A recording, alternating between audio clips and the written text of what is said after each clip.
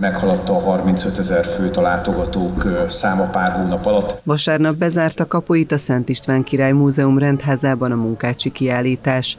A Munkácsi Székesfehérváron című kiállítás még szeptemberben nyílt meg városunkban, melyen a Pák Imre magángyűjteményéből válogatott Munkácsi Mihály művek mellett a művészről készült alkotások és egy tabló kiállítás nyújtott lehetőséget életútjának megismerésére. Ez a név önmagába vonzotta a látogatókat, ugye több mint 30 35 ezeren látták a mai nappal bezárólag ezt a kiállításunkat, és nagyon fontos, ugye, hogy ez Székesfehérváron valósulhatott meg, a Szent István Király Múzeumban. Ez a 47. állomása volt egyébként a Pák gyűjteménynek, ennek a munkácsi kiállításnak, és hát itt köszönhettük az 5 milliómodik látogatót is. A kiállítás záró ünnepségen fényjáték borította be a múzeum falát, valamint Liszt Ferenc zongora művei keltették életre a fő utcát.